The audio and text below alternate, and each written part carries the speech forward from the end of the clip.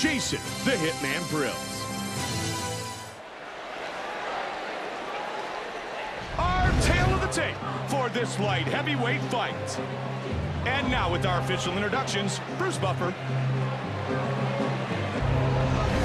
Ladies and gentlemen, this fight is three rounds in the UFC Light Heavyweight Division. Introducing first, fighting out of the blue corner. This man is a freestyle fighter.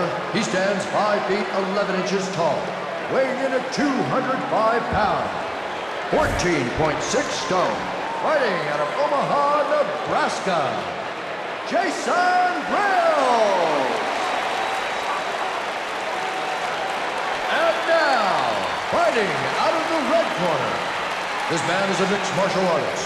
He stands 6 feet 4 inches tall, weighing in at 205 pounds, 14.6 stone, fighting out of Endicott, New York, Jon Bones Jones. And when the action begins, our referee in charge of this contest is Yves Lavigne. The beautiful Arianny. Jason Brilz. Jon Jones. Fight. And here we go.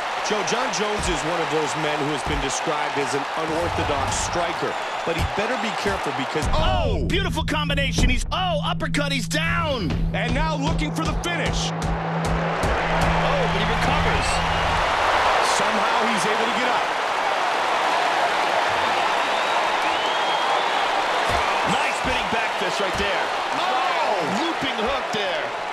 oh, nice counter left hook right there. Oh, Nice body kick. Big knee. A good right hand counter. Oh, head kick.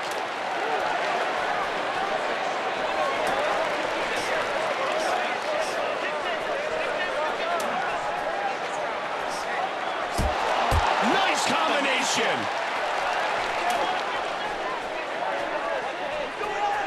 Oh, answered by a big body shot. Oh, to the midsection. Spinning back fist on the button. Oh, oh my goodness. That's Spin back fist. He's out. Shonie Carter would be proud.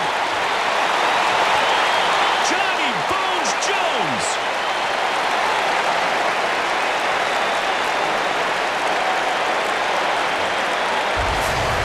Let's take a look at the finish of the fight. Here's a spinning back fist. Perfect position. Perfect placement. Look at the speed and power in this spinning back fist.